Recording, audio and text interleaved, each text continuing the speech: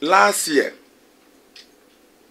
after this gruesome murder, the Media Foundation for West Africa organized media associations to form a committee in collaboration with the Ghana Police Service.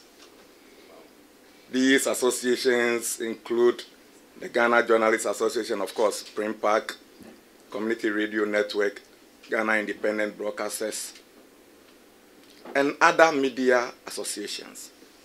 And it was duly inaugurated at the police headquarters.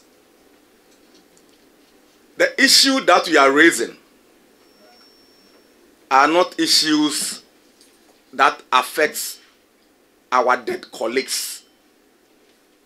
But principally, it affects those of us who are alive. Because we don't have to sit down for such occurrences to be repeated almost every year. After that inauguration, the Ministry of Information also came out with an initiative where various media associations, including the regulatory body, that's the National Media Commission, we assembled at the Alisa Hotel where we came out with guidelines uh, that will protect journalists. And the ministry formed what we called the National Coordinating Committee on the Safety of Journalists. We have our various representatives who have constituted the committee. But just last week, we were reliably informed that that mandate have been given to the National Media Commission to prosecute. It is very, very important.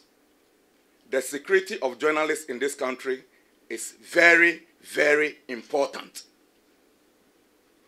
Because by and large, it can affect the image of the government. Not necessarily the government of the day, but even the minority.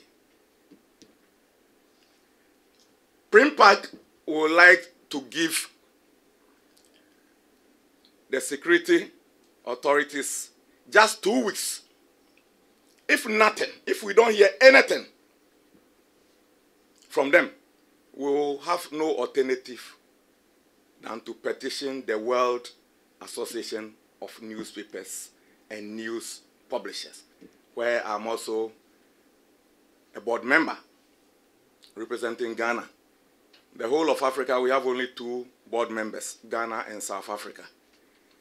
And uh, we are affiliated to the United Nations, more or less UNESCO.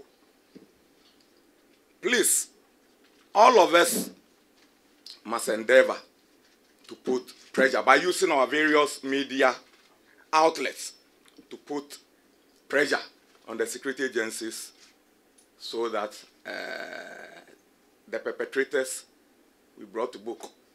That will also ensure my security and your security and our security.